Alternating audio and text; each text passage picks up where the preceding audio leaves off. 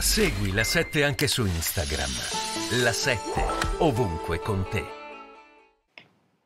Guardi, io mi trovo molto d'accordo con le cose sagge, intelligenti, misurate che ha detto Daniela Preziosi e anche con la necessaria autocritica che deriva da, dalle parole di Daniela Preziosi. Voglio però dire una cosa,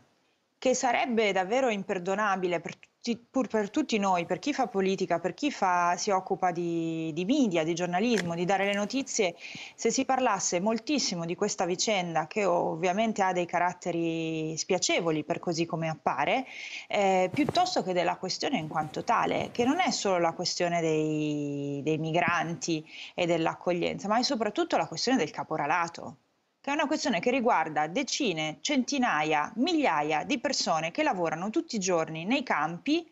a 2, 3, 4, 5 euro al giorno. Ci sono stati morti stranieri, morti italiani, donne che sono morte di fatica e di questo non se ne parla mai, mai.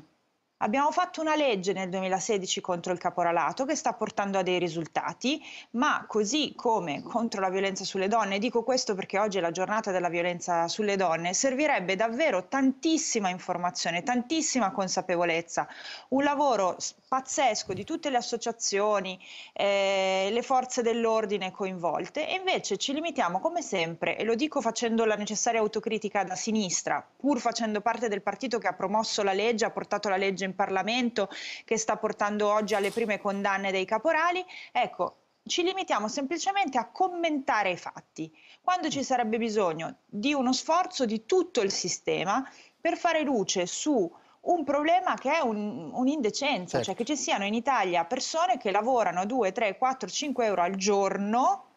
e muoiono di fatica nei campi. Su questo, anche su questo mi piacerebbe parlare, invece è un tema che come sempre metteremo sotto il tappeto, verrà fuori forse una volta che un pulmino dei capola- caporali sbanderà, ci certo. saranno dei morti tra i lavoratori italiani o stranieri e vabbè, si commenteranno di Senaldi, nuovo i fatti di arrivo cronaca. tra poco da te. Per